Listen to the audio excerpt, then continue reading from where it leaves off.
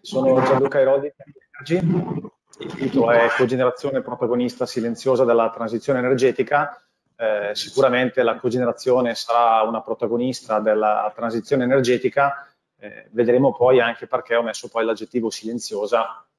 soprattutto perché ormai ultimamente si parla molto di idrogeno, per cui magari affronteremo anche brevemente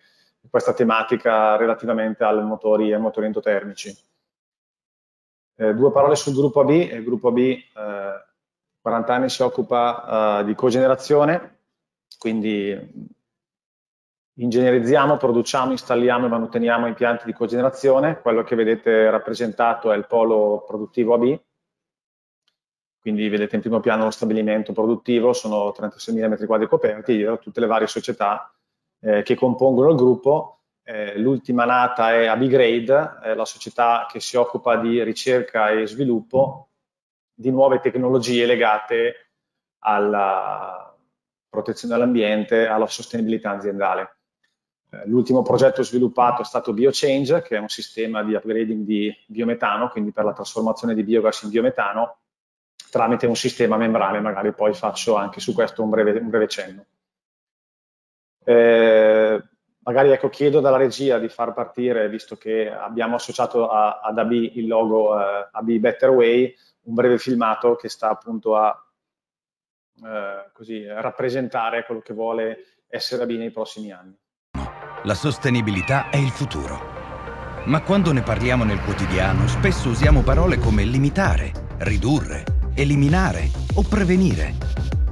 Esiste però un modo di agire in maniera circolare in grado anche di ottimizzare, aumentare, incrementare e migliorare. Semplicemente di aggiungere valore.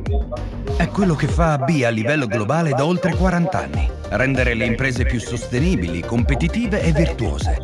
Aumentando l'efficienza e allo stesso tempo incrementando i profitti grazie a innovative soluzioni di sostenibilità energetica come cogenerazione da metano e biogas, upgrading e liquefazione del biometano, trattamento delle emissioni in atmosfera, impianti, competenze, tecnologie e servizi capaci di rendere il tuo modo di produrre semplicemente migliore. AB, a better way. Te l'ho scaricata a casa, facciamo il contrario. Eh, parliamo sempre di cogenerazione verso la transizione energetica e stiamo parlando in questo caso di motori endotermici. Una stima dell'installato in Europa, eh, quindi si parla di circa il 45% di installazione di, diciamo, di cogenerazione con motori alimentati a gas naturale, di cui quasi il 90% in assetto cogenerativo e un'altra parte, diciamo una metà, un po' più della metà, in, eh, che utilizza combustibili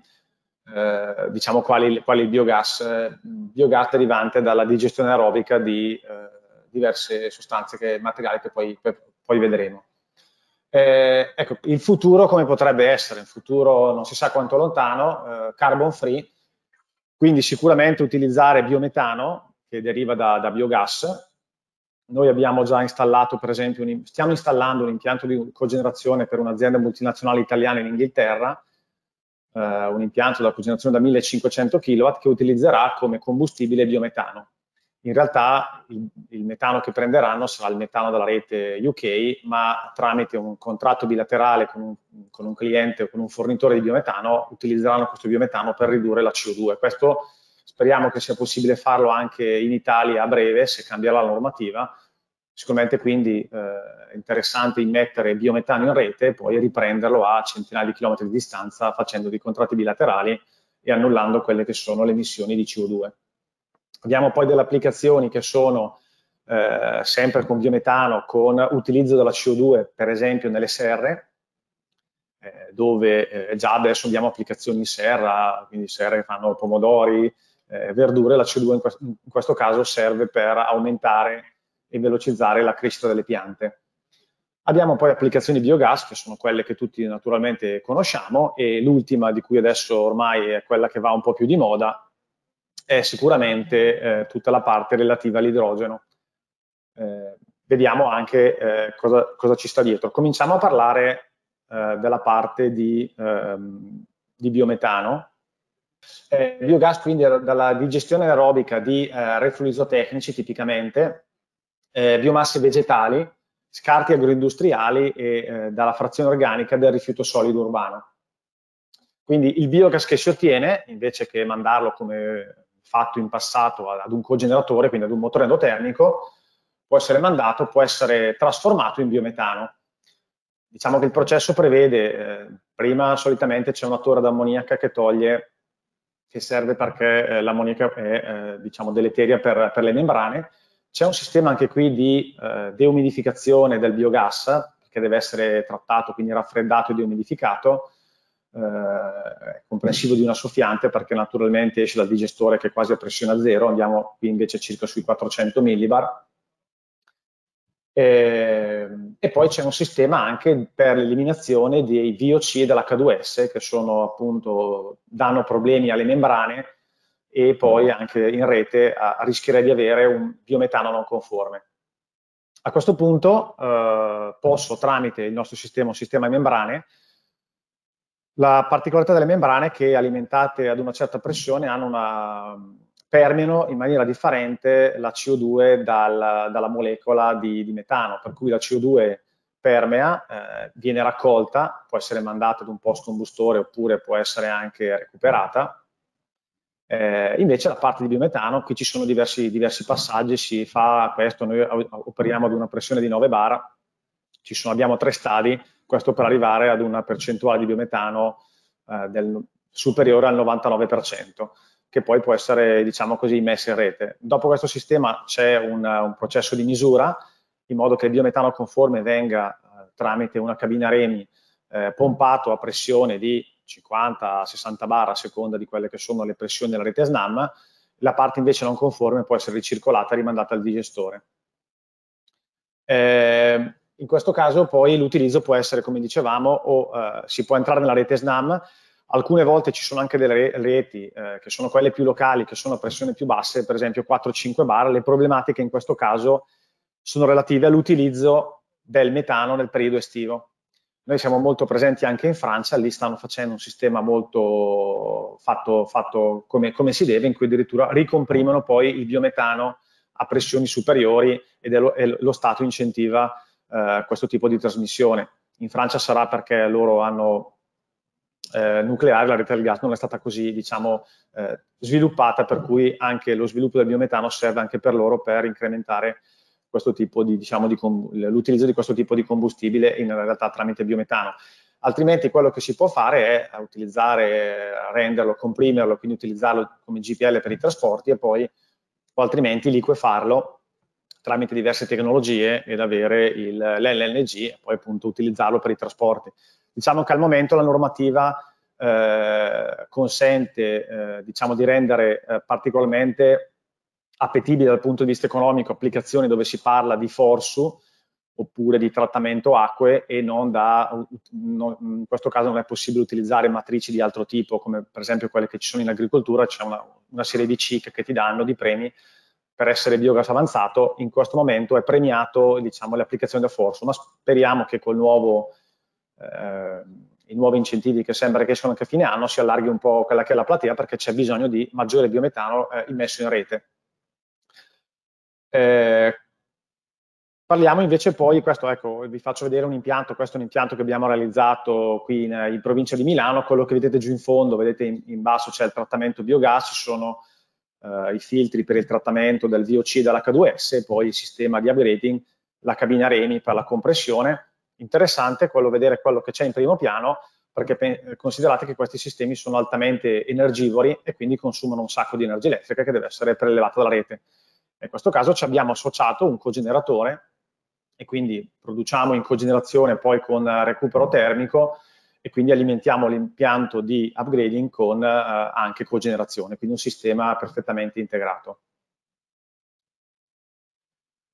Parliamo adesso di idrogeno, visto che ormai la moda vuole anche un po' che si parli di idrogeno, parliamone un po' anche noi per vedere poi che cosa implica l'utilizzo di idrogeno all'interno di un motore a combustione interna. Innanzitutto naturalmente perché l'idrogeno, perché per definizione è carbon, carbon neutral,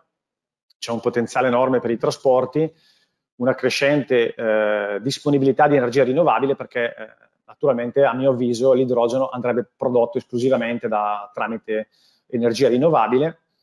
e poi siamo già avuti, qui siamo in casa SNAM, i primi esiti positivi diciamo, per l'aumento della percentuale della, della, di idrogeno nella rete, nella rete gas e quindi c'è una pianificazione anche ipotetica di dorsali che vanno completamente ad, ad idrogeno.